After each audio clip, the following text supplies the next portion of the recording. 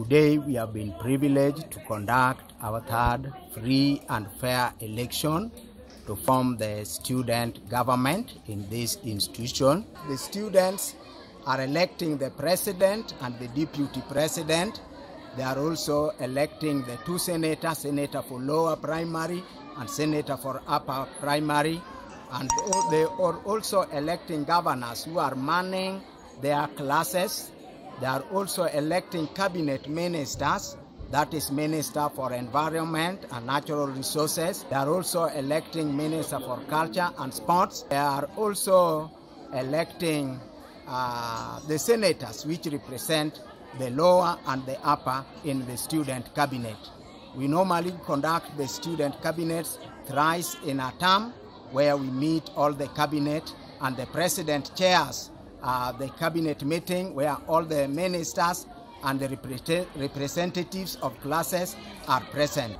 The student government has been very useful for the last three years in this school uh, in terms of the students' performance. And the learners enjoy when they are being led by the people whom they elect themselves, not appointed by the teachers.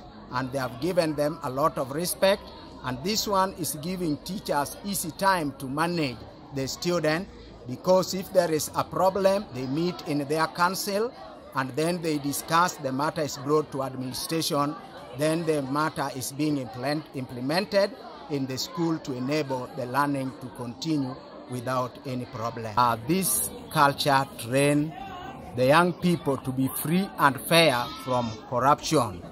Government should implement uh, this one to be part of our curriculum that we do uh, in our classes so that the learners should come from school when they have integrity to fight corruption in the country.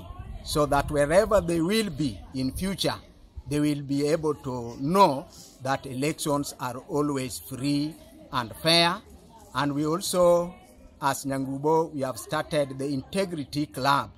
The Integrity Club teach our learners to fight against corruption so that they can develop this culture right in them so that when they grow up, they become mature citizens who cannot be engaged in matters of corruption wherever they will be employed or whenever they will be working.